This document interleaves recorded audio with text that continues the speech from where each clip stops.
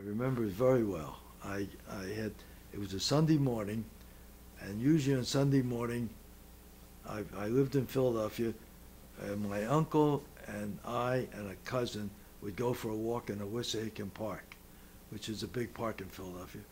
And when we came home, we got the news. My mother told me that Pearl Harbor had been bombed, and I said, "Where's Pearl Harbor?" Nobody knew where Pearl Harbor was. I least of all. We we just never heard of it. And but we pretty soon found out. Of course, we listened to President Roosevelt speak, and uh, I was 19 years old. It was pretty. I was pretty sure. It hit me right away that if there's a war, I'm going to be in it. And go ahead. And then 10, 10 months later, I enlisted. Now, at that point in time, prior, just prior to Pearl Harbor, obviously the, the war was going on in Europe, and then the, the Japanese were advancing in the, in the Pacific. Did you have a sense that eventually the United States would, would get into, get involved? I, no, I never felt that until the Pearl Harbor attack. Then, then I was pretty sure we were going to get into it, and I was going to be in it. And my brother, and my cousin, and everybody of our age was, was going to be involved.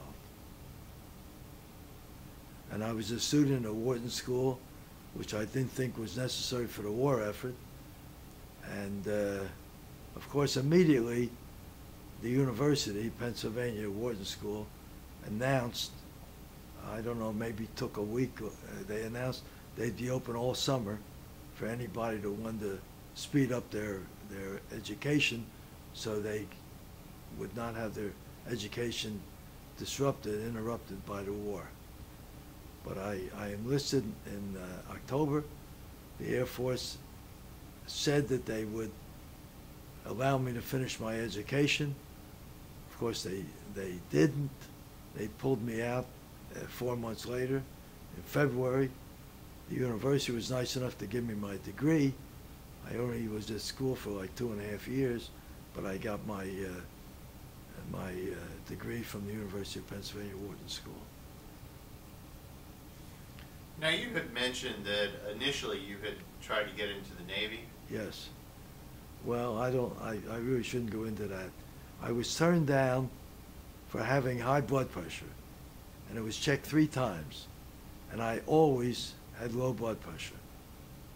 And the Navy just didn't want us the, the three of us, two friends and myself, we, we, we went down. We were all turned down for various reasons.